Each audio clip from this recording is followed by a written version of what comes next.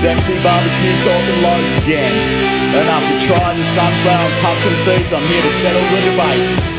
All you fuckers on YouTube and Facebook that listen to the General's live chats need to settle the fuck down on each other. Because we're all in this shit together. Here we go. So my wife said my loads weren't fulfilling her needs. So I dropped the sunflower, switched to pumpkin seeds. I ate packets of pop packets for about a week. I could feel the difference as my cock eye leaked. I called my wife to the room and said, I have you a treat. She laughed and asked, Another little load to secrete. I said, shush woman, use that mouth for sucking. This load's a baby maker, there's no way we are fucking. As soon as her lips hit the tip of my knob, I felt the tension mount. What the fuck have you done to me, Robb? My butt cheeks clenched, my asshole tightened. For the first time in my sex life, I was actually frightened.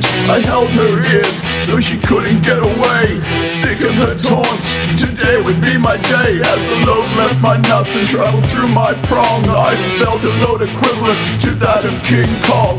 Dick muscles tore as my meat cannon unloaded. It shot out with such force, my wife's head exploded. The general had said, go big or go home. I'm a widower now, eating seeds here all alone. Moral of the story, it's not always about the size. I should have stuck with what I knew kept gluing up her eyes. The pumpkin seed gave me the ultimate power. My dick went super saiyan, should have stuck with sunflowers.